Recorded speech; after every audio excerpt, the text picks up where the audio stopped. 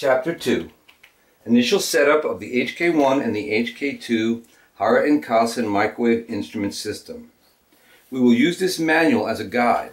So get out your manual and please go to page 4, starting at the top, looking at B.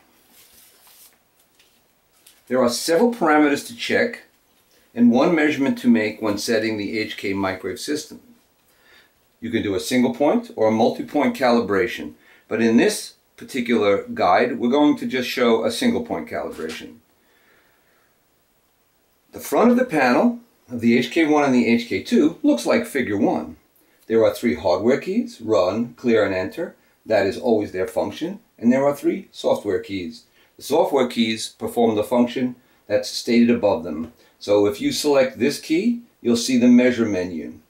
If I collect, select this key, I'll go to the main menu, the main screen. And if I go here, I'll scroll to the next menu.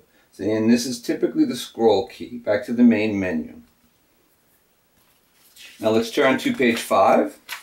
Okay, page 5, section 3, calibration. Procedures for the initial single point calibration. What we have to do now is we have to set the unit up so that we can do a, a single point calibration by first performing a reference measurement. So the first thing we're going to do is set up some of the parameters. So if you go to section 3, step 1, we're going to check the slope and the offset. Press the next, which is the scroll. We can see calibrate like display 7. We, we select that. Coefficient like display 28. And now we see two variables. We see an AO and an A1.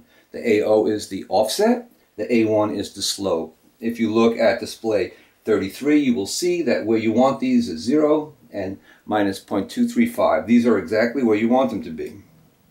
Okay, so the next thing that we're going to do is we're going to check the linear temperature coefficient. To do that, we get to the temperature menu, temperature menu, and then temperature measurement on. Next, there's no offset here. Next, that should be the real temperature. We don't have a temperature hooked up here, so that's not a real value. That's the value that you'll get when you don't have a temperature hooked up. Um, this is saying the temperature compensation is on, but let's, let's leave it off. Okay, we go to the next screen. Even though the temperature compensation is off, as you see from your book, we want to enter TK1, which will be a value of 1. Now the temperature reference is read in when you do your when you do your uh, uh, reference measurement. So there's nothing to input there right now. So after that, we're going to look and we're going to check the current inputs. So let's go back to the measure parameters menu. And in the measure, measure parameters menu, we'll have the 4 to 20, which you look in display 5 on page 6. You'll see that uh, the 4 milliamp here is set to 20.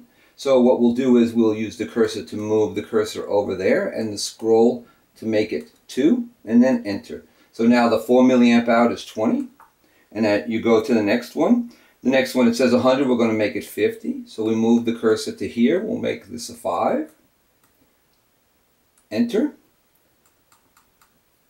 0. Enter. So now it's 50. So now the 4 milliamp is 20. The, the, the 20 milliamp is 50. And now we're ready to perform the reference measurement.